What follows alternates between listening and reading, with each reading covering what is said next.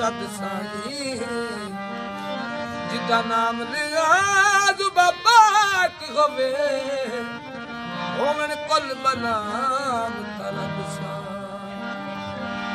ਬਾਲਾ ਪੀਰ ਸੈਦ ਮੁਹੰਮਦ ਗੌਸ ਦਾਤਾ, ਜਿੱਦੀ ਸ਼ਾਨ ਅੱਲਾਹ ਸਮਦ ਸਾਈ ਲਸੀ ਖਬਰ ਫਜ਼ਾਲ ਦੀ ਪੀਰ ਕਾਮਿਲ, ਇਸ ਸੁਣ ਆਪਣੇ ਦੋ।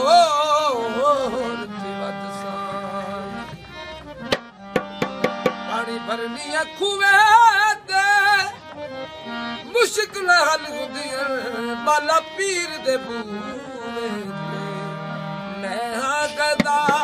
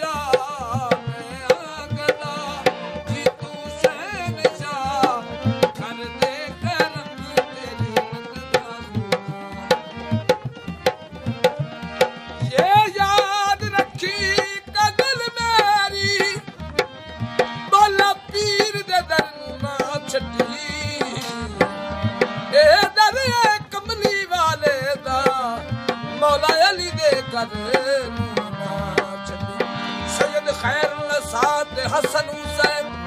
ਅਲੀ ਅਕਬਰ ਤੇ ਅਸਗਰ ਨੂੰ ਨਾ ਛੱਡੀ ਸਾਈ ਸ਼ਰੀਫ ਮੰਨੀ ਪੰਜਾਬਾਂ ਨੂੰ ਇਸ ਹੱਕ ਦੇ ਲੜੇ